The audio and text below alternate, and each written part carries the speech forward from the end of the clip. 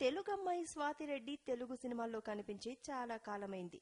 ఎప్పుడో ఏడాదిన్నర కిందట వచ్చిన త్రిపుర తెలుగులో ఆమె చివరి సినిమా. దాని తర్వాత ఆమె టాలీవుడ్ వైపు చూడలేదు.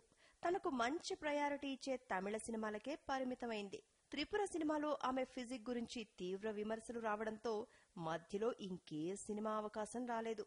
దీంతో స్వాతి ఈ మధ్య కొంచెం బరువు తగ్గి టాలీవుడ్ దర్శకుల్ని ఆకర్షించే ప్రయత్నం చేసింది. ఈ మధ్యే ఆదిత్య అనే కొత్త దర్శకుడు స్వాతి ప్రధాన పాత్రలో ఓ రొమాంటిక్ ఎంటర్టైనర్ చేయడానికి రంగం సిద్ధం చేశాడు. గుంటూరు టాకీస్ ఫేమ్ సిద్ధుని ఇందులో హీరోగా అనుకున్నారు. ప్రీ ప్రొడక్షన్ వర్క్ మొదలుపెట్టి సినిమాను సెట్స్ మీదకి తీసుకెళ్ళడానికి సన్నాహాలు కూడా చేసుకున్నారు. ఇంతలో ఏమైందో ఏమో ఆ సినిమా నుంచి స్వాతి తప్పుకుందని సమాచారం. స్వాతి నో చెప్పేయడంతో ఆ పాత్రకు వేరే నటిని తీసుకునే ప్రయత్నంలో ఉన్నారంట దర్శక నిర్మాతలు. అయితే స్వాతి తెలుగులో ఇంకో సినిమా చేయబోతోంది. వీడు తేడా బ్రదర్ ఆఫ్ బొమ్మాళి సినిమాలు తీసిన చిన్ని కృష్ణ దర్శకత్వంలో ఓ తమిళ రీమేక్లో స్వాతి నటించనుంది.